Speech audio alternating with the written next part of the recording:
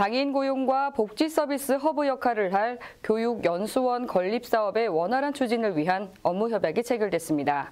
장유진 기자가 보도합니다.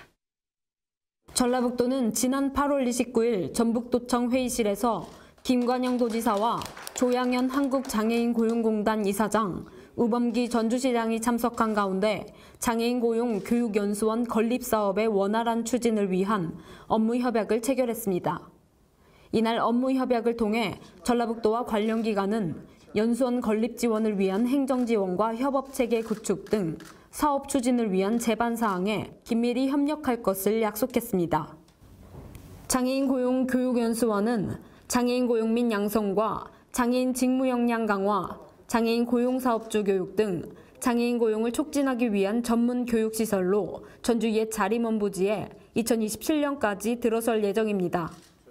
김관영 도지사는 연수원이 단순한 교육기관이 아닌 다양한 장애인 고용 관련 사업과 복지 서비스를 제공하는 장애인 고용복지 허브가 되도록 행정적 지원을 아끼지 않겠다고 입장을 전했습니다.